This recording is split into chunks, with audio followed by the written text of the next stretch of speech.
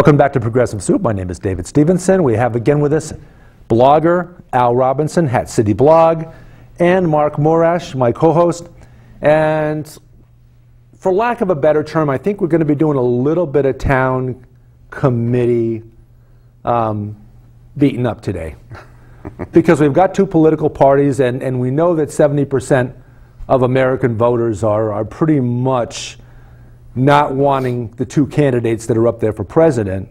So some, there's a disconnect there. And the majority of Americans, it's above 50% now, are unaffiliated, or in the case of Connecticut, unaffiliated. In the case of other states, independent. And uh, there's, there's a huge cry out there for more political parties that cover more than just what the two parties, which are seem to have become closer and closer to one another on anything and everything except maybe a couple of social issues. But uh, first of all, Al Robinson, introduce yourself and then we'll get started. All right, well, good to be here again.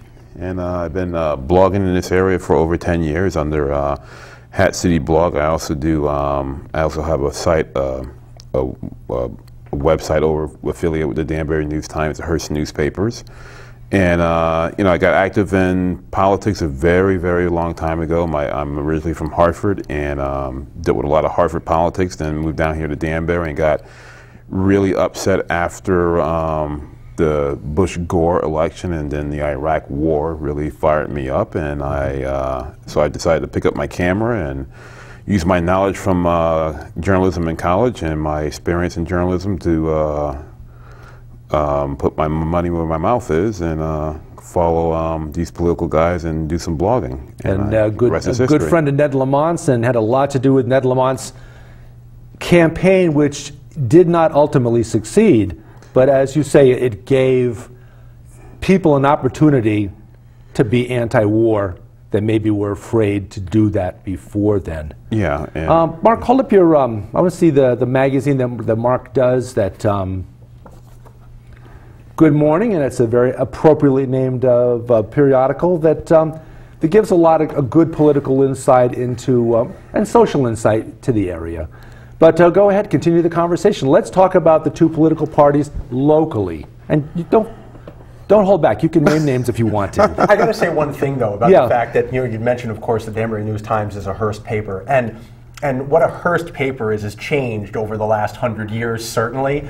But I love the fact that you're writing the good, you're fighting the good fight through a Hearst newspaper, kind of wiping a little bit of William Randolph Hearst's history out of the world because he and Art Young, who founded Good Morning back in 1919, were always like this. And there's a huge history at that beginning of yellow journalism and Art Young's uh, magazine and he worked for Hearst. Hearst wanted him for years, and Hearst's editor, Arthur Brisbane, who used to write these amazingly almost progressive columns in Hearst's paper, which was weird because you wouldn't expect that. Um, Brisbane was very much about the common person, and he would take Art's cartoons and write these big eight column tabloid conversations. They would have these conversations back and forth, almost across party lines, so to speak that you never see in the newspaper anymore. It was a conversation about how to make things better for people.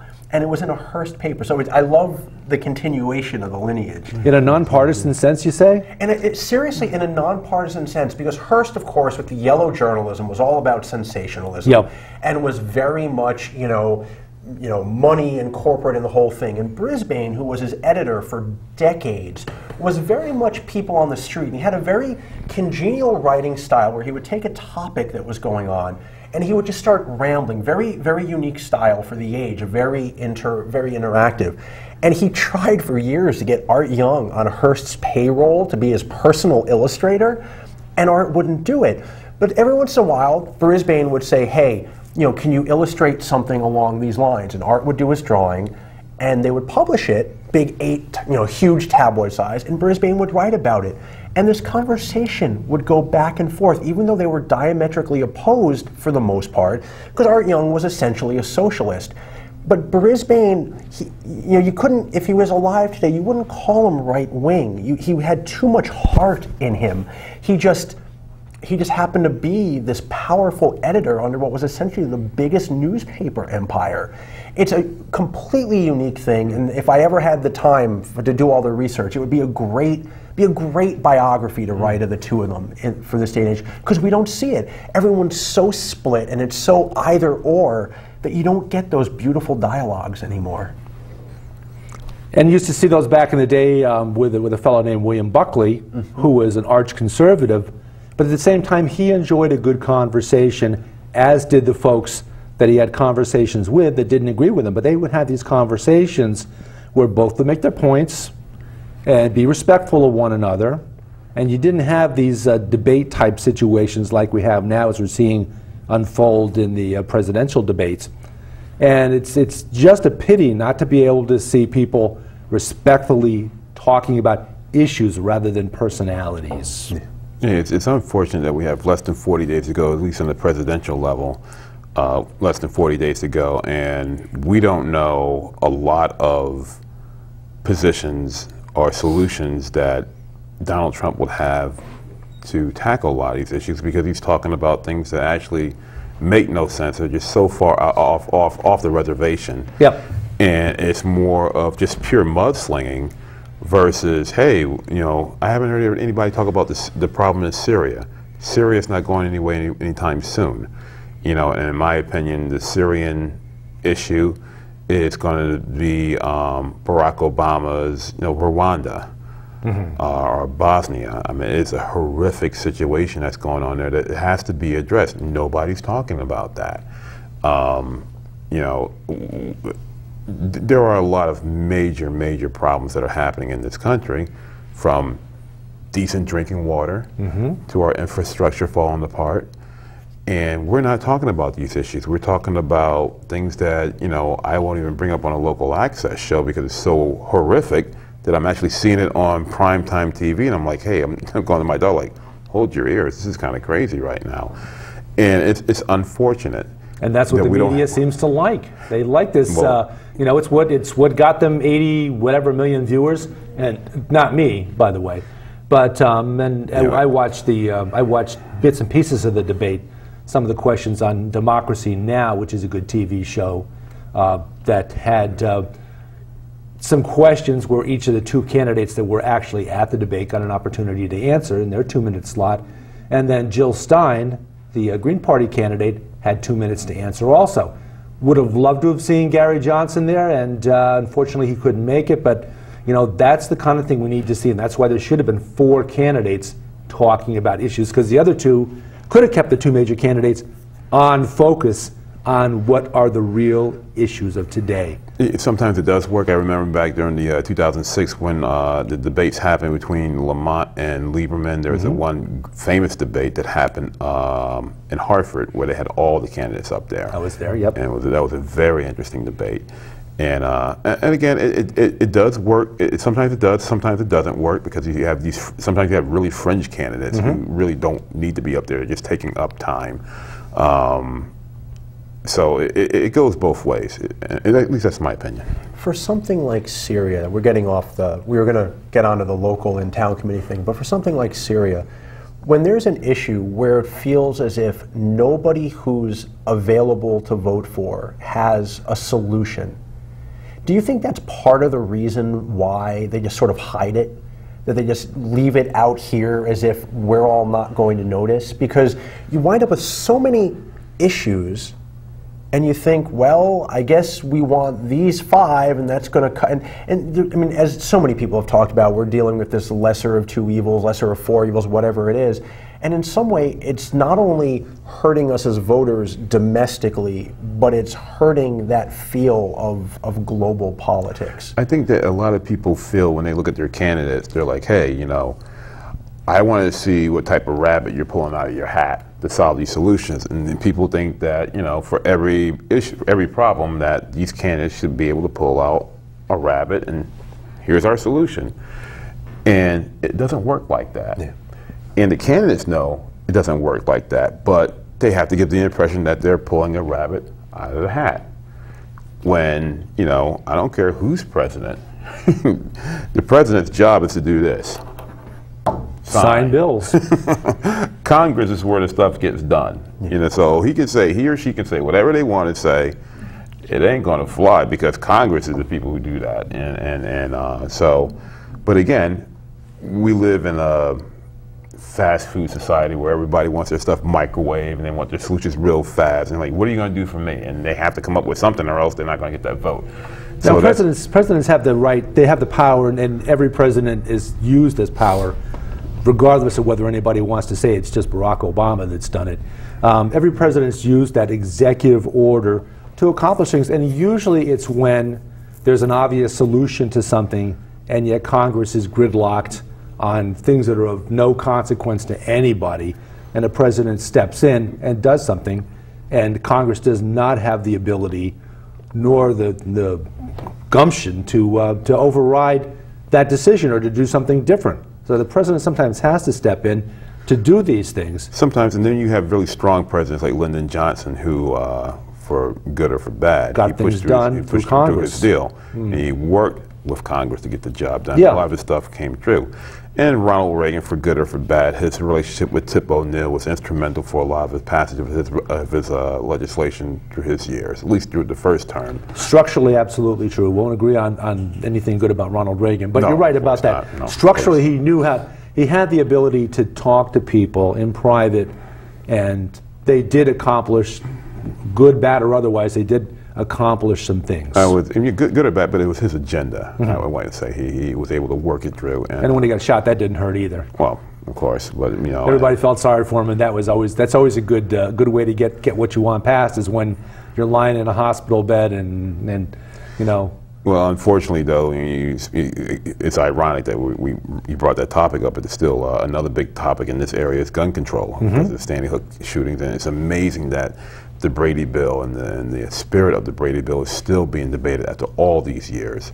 And I think it's another big topic that we have to address. We have to address, we have to address gun control.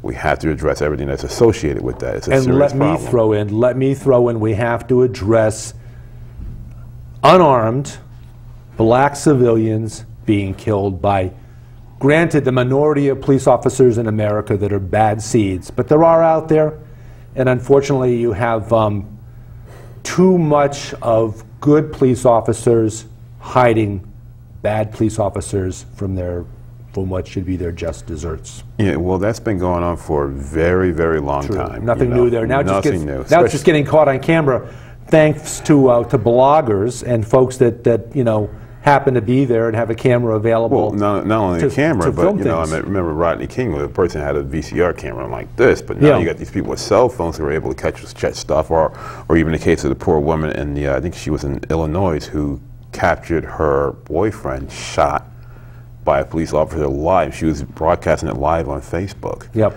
Um, so the times have changed, and due to the fact that times have changed, a lot more of these instances are popping up because yep. people have access to uh, social media so they can show a lot more of this stuff. Correct. The um, fact that um, they're happening is nothing new. The fact that they're, the fact that they're new. being put on the public domain and people have to face up to these incidents is relatively new, and it's just a not that they haven't happened before throughout history, right. but these uh, these incidents are at least getting their due attention now. Yeah, and I don't think those are those are issues that I like to hear a lot more of on a, not only a president on a presidential level, but on the congressional level. Again, I'm at gun control, 5th mm-hmm. district, Newtown. We should be talking about that. You know, where do you stand on that? Are you for gun control, or if you're not for gun control? Are you, or, or if you're not for gun control, where can we where can we strike a compromise? Can we get something done? Because right now we're not getting anything done, and I think that's a huge, huge problem. Um, you know, because I lived in Newtown. I lived not I, I lived for several years not far away from that school, and the day that it happened, i was just shocked. I'm like, Newtown, Sandy Hook? You got to be kidding me. Yeah. And um, it, it, happened right here. And um, all it, takes is all it takes is one person with an agenda that's bad or with a mental illness right. to have access to a, a weapon, and we'll call them weapons of mass destruction because that's what they are. That have that has access to a weapon that you can kill 26 people in less than three minutes, where there's a minimum of three bullet holes in each of the victims. Right. And that's just that's just nobody needs to have a weapon like that anywhere. And it's not a hunting weapon by any means. And, and, those are the topics we need to be talking about. Um, and especially, for instance, the second, Congre- uh, the second uh, state senate district, uh, Dan Carter, mm-hmm. who was one of the only, one of very few Republicans in Greater Danbury, who voted against it. And the second district covers Newtown. Yeah, he had part of Newtown in his district. Yeah, mind-boggling that he would vote in that manner. And he's going. He's running for the U.S. Uh, U.S. Senate now, and, and you know I'll, I'll make the prediction now. He'll lose. Well, you mentioned in the first show about, about placeholders, and you see a lot of this, and, and, and this leads back leads us back to the, the notion that, that both political parties quite often will not run candidates that are really viable candidates. They're placeholders. Yeah, we have a lot of them right now in this area. I mean, we have a we have a candidate running for state senate on the Democratic side who who's leaps and bounds not qualified in whatsoever. I mean, he has a he has a good talk and a gift of gab, but he's the most one of the most unqualified individuals I've ever seen running for state senate. If you look at you put him compare it to Alice Hutchinson and Dwayne Perkins mm-hmm. and, and Jason Bartlett, and you have Ken Gucker who couldn't even win a spot on the zoning board. And you know, election after election, he got less and less votes, and, and they're putting him up there because the, the, town committee cannot find viable candidates to run for these positions. So and every, and every, every, every town committee every in town every committee. town, whether they're Republican or Democratic town committees, yeah. they should be able to find a good, viable candidate Again, and, for and, every and, single election. In the, one tenth, in the one tenth on the Republican side, we, mm -hmm. we just talked about it again uh, in the previous uh, show you know, Bob Godfrey, who had landslides, mm-hmm. landslide winnings against his opponents because these people were just basically placeholders. Yep. They come up for, they come up, they run for election, they, they do these things for a few months, they run, and then next thing you know, phew, gone. Mm-hmm. Like, like gone, gone. And like you don't see them anywhere. You don't see them running for any other office. You, you, I bet you couldn't even name three of the people who ran against Bob Godfrey because they're nowhere to be found anymore. Yeah. And it's the same thing on the Democratic side. They bring these people up here they have no experience whatsoever, no political experience, or they have some political experience, or, or better yet, they have a certain last name that uh, is affiliated with Danbury old mm-hmm. uh, Danbury old timers. Well, you, well, you made a good point. It's, you made ridiculous. a good point about um, about there being two good candidates in the 110th with Bob Godfrey and, and uh, Daniela uh, Emanuela Palmera. Emanuela Palmera being two pretty good candidates, at least uh, able to speak clearly and talk to the issues clearly. How about in the second, where you have uh, uh Raghib Allie-Brennan and uh, Will Duff? And Will Duff pretty much represents his predecessor, Dan Carter, in terms of, um, in terms of what he stands for and what his beliefs are. How does that match up as far as... Um, um, it's an interesting district. It leans a lot more to the to the Republican side now after the redrawing a few years ago. Yep.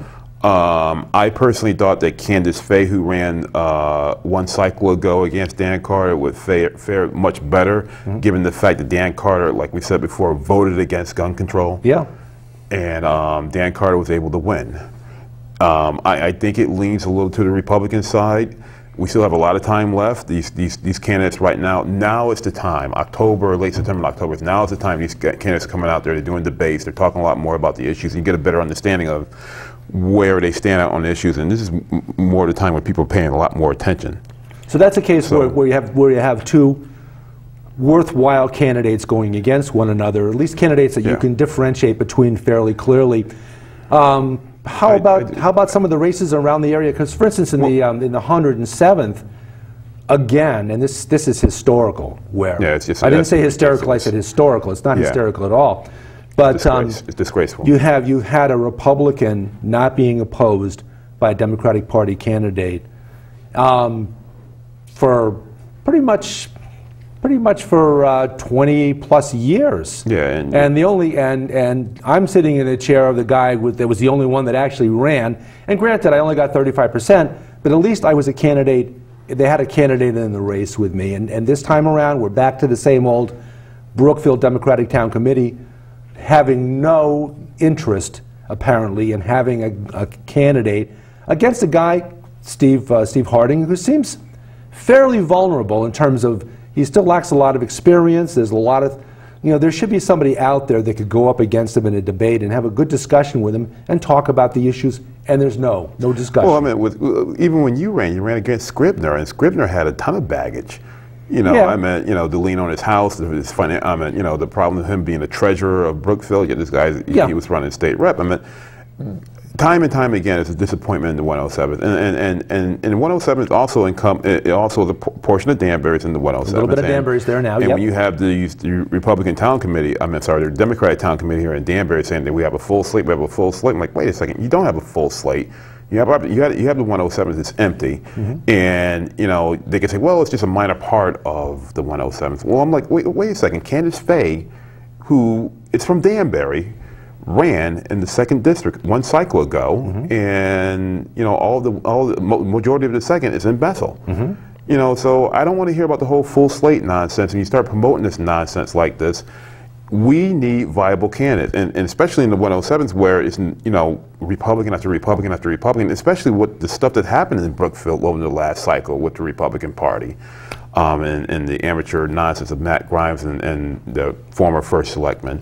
Maybe there is a time for the change, and you should give those people an opportunity to choose between two candidates and not just not run anybody at all. So, again, back to the original question, and I'll, I'll let you Yes, address that. Back, to, exactly. back to the original question: What is wrong with the Republican and Democratic town committees, not just locally but statewide and perhaps even nationwide, that they don't, they can't find viable candidates to run? Well, can they not find, or do they want to keep the gates closed? I mean, here we are in the mm-hmm. last few minutes. We've talked about the ridiculousness of the Democrats in Brookfield. We've talked about the the inability to organize of the Democrats in Danbury. You've got Bethel, where yes, you have a first selectman who's a Democrat, but everything else down ticket is Republican. Mm-hmm. And so you look at this, and you have the fact that it is believed that District 5 in the presidential election is going to go Trump. So you're talking about the fact that the the Duff that that election, you know, it's leaning Republican. So what are we really seeing locally? Are we seeing that the area is starting to lean more Republican, or are we watching the Democrats completely drop the ball? If you And- can, if you can consider Trump a Republican, I'm not well, sure. but- I'm not sure what he is. He, he's he's his own his own thing. So Yeah. here's the thing. So we were talking, you know, Mm-hmm. we were talking, you know, before the show how in the Connecticut primaries before April 26th, there were a bunch of us working for the Bernie Sanders campaign. And you know, I, when my hat was on, there were buttons, you know. So you know, I'm a Bernie guy. Still am a Bernie guy. Always will be a Bernie guy. But we wanted to use the Danbury office to run the canvassing out of, and they said no. They said no, flat out no, which was interesting because in Stamford, they asked if they could use the Democratic uh, office there, and they said yes because they realized they want all of these youth who have never been involved before, or us older folks who have never been involved before on this level, to still want to be there after the primaries. They realized the good, the idea of opening, open the gates, let people in. Well, Danbury said no. Then the regime changed about a week before the Connecticut primary, and two days before the primary on Sunday, somebody showed up at our canvassing office and said, Hey, can we have a bunch of Bernie stuff to put outside at, at the Danbury office? And you think, where have you been for the last few weeks when we, we were asking to work with you? And so if I were to, and I don't want to, I, I, besides last last week I already said I'm running for president in 20. We all declared for 2020. we're going to start our growing campaign, start getting signatures now. So I can't run locally, so don't ask. But if I wanted to run locally and just showed up two months ago and said, "Hey, I'm considering being on the ticket," they wouldn't know me, and they wouldn't just let me do. it. I mean, granted, you have to vet and all that, and I get that, but there's there is a, a, a maze and a gatekeeping process and find your way through the through the corn maze around Halloween and get me a coffee next February that you're blocking out people that want to be involved and you're also not mentoring. And that's really what it comes down to. When when the Bernie delegates came back from Philadelphia there was a meeting of a bunch of folks locally and there were folks half my age there now I'm only 40 and there were folks half my age who had been delegates down in Philadelphia and I thought oh my goodness gracious you guys are amazing that you're doing this and you want there to be and maybe there aren't maybe there really aren't people already involved in politics locally to mentor them. And frankly, the heads on their shoulders didn't even feel like they needed it because they're already just well on their way. But you think to yourself, if the gate's closed, what do we have to do to make sure these these kids? It's weird saying kids because I feel like I'm 18, um, but to make sure they have all of our support going forward. And if the two major parties aren't going to be inclusive, perhaps this reflects and will give a push forward for there being more major political parties.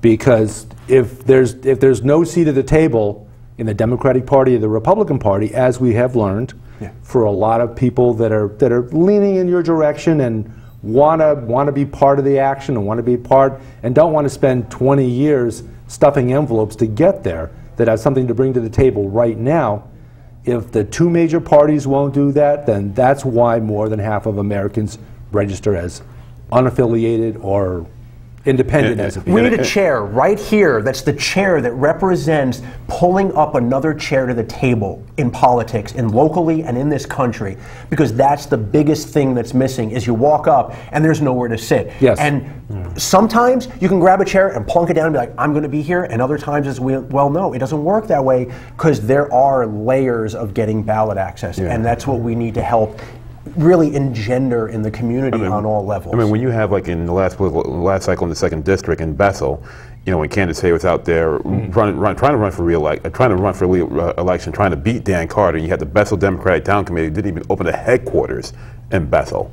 You know, how out, outlandish is that? You, keep, I mean, you want to attract these people to come out here and, and learn about these parties, but you don't even have a headquarters open and you know that just that just goes more into like you know the, this old party system, whether it's Danbury and, and, and the insanity that's happening in that town committee or in Bethel.